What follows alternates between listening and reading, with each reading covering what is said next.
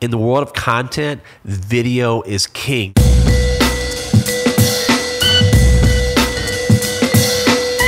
Welcome to the We Are Slam show where we share marketing agency insights, best practices, and ideas to help your business or brand grow. My name is Tyler Kelly.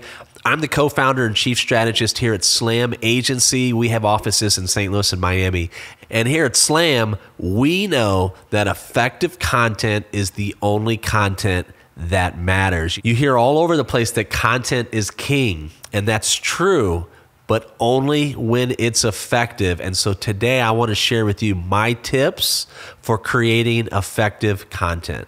Now, if you're listening to this podcast and you represent about 80% of our audience, because 80% of our audience is listening, whether it be on Spotify, iTunes, or on another podcast network. And oh, by the way, if you're listening on one of those networks, subscribe. But if you're not listening, then you're probably watching. And why is that? It's because that we also produce this podcast in video. Why video? Because video is the type of content that makes a huge difference. I want to share some stats with you. Including a video on a landing page can increase your conversion rate by up to 80%. After watching a video, 64% of people are more likely to buy your product online. 65% of executives will visit a marketer's website after they've watched your video. 39% of executives will actually call a vendor after watching a video. And four times as many consumers would rather watch a video about a product than read about it. What does this tell you? in the world of content, video is king. Now, I know it's not perfect yet, meaning, you know, it hasn't reached its full potential, but it's definitely happening. So, as a marketing director, you need to this year go all in with video. That's one of my secrets. You got to go all in with video. You have to make sure in everything that you do, there's a video component, whether it's a Zoom call, whether it's uh, you know a Facebook Live or a Facebook Premiere figure out ways to incorporate video in everything that you do, knowing that you're building the foundation for content success in 2020 and beyond. Now, I also do a podcast called Innovation City, and these interviews are the perfect pieces of evergreen content, which we release on a weekly basis. And when I say evergreen content, I'm talking about like a large chunk of content, which is like the pillar, right? It's the pillar that all your other content would lead to. So in the case of Innovation City, we have a 30 minute interview. And what we do with that interview is we, we do audio and video, and then we break it up into chunks. You know, we do video teasers, we pull out quotes from the interview, and we create graphics with those quotes. We do promotions with the guest. What you want to do is you want to remix your content in a way that connects with the way that people use the networks where you're placing that remix content. So if it's on Instagram, if it's on IGTV or something, there's a certain way that people interact with IGTV. Number one is you have to flip your phone to see it, or you have to produce content vertically in order to watch it and it not be weird, right? So figure out a way to produce content for that medium, for that channel.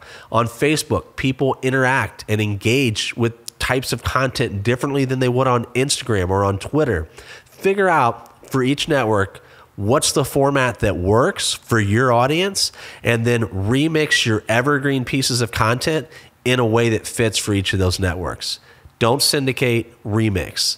That's a big tip. If you're new to content, this word evergreen might be new to you, but it's exactly what it means. I also think I think I might have mentioned pillar post. You know, these are words that come from from back in the day, like when blogging be, just became a thing. You'd have like these two, three hundred word posts, that blog posts that were in effect teasers or you know just snippets that would lead you to bigger posts, right? The bigger posts are what the search engines wanted because that's where all the meat was, right? So you had a 1500, 2500 word evergreen or pillar post with two 300 350 word posts that led back to that and this is how you know blogging really started to gain steam is through this philosophy, through this methodology. And so here we are in the world of video, video being so huge in terms of content. Here we are, we're applying the same principles that we applied to blogging 10 years ago to video. We're remixing and we're creating an evergreen machine. So I want you to sit down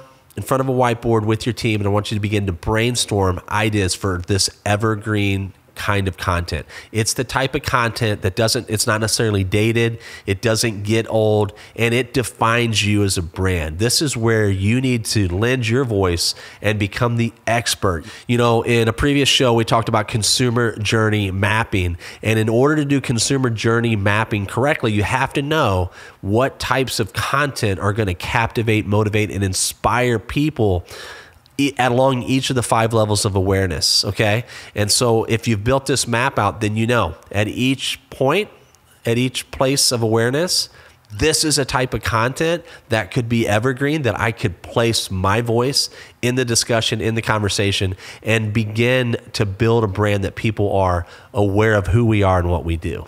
Once you've created that list, then at that point, I want you to circle the things that really stand out and could be evergreen, and then begin to create content. Start off with the blog post that will get the ideas running, it will help you develop the content.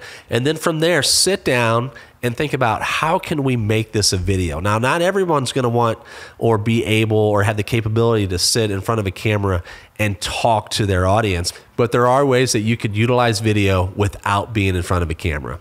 Now, my final tip is this advertise to your audiences. Now, this is key. And the reason it's key is because number one, your audiences are the people that you're going after. These are the people that you want to see your content. These are the people that you're targeting. These are your segments. When I say advertise to your audiences, I want you to advertise to the people that are your potential customers, that are your customers, that that you're looking to, to bring back in and, and and become repeat customers.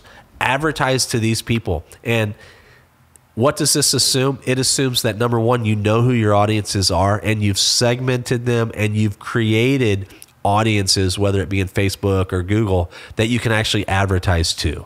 So I'm not talking about just like putting a video on Facebook and boosting it to everyone that likes your page because everyone that likes your page may or may not be a buyer of your product or service. So take a step back, think about who's my customer, where are they online? Do I have their contact information? Can I create a custom audience? And if I have created that custom audience, what types of content can I share with them that, that I can advertise and pay for them to see that will captivate, motivate, and inspire them? At the end of the day, people do business with brands that they like and trust. How is likability built? It's built through this idea of familiarity. And you do this by advertising to your audiences. So, to wrap it up, when they say content is king, I want you to remember that only effective content is king.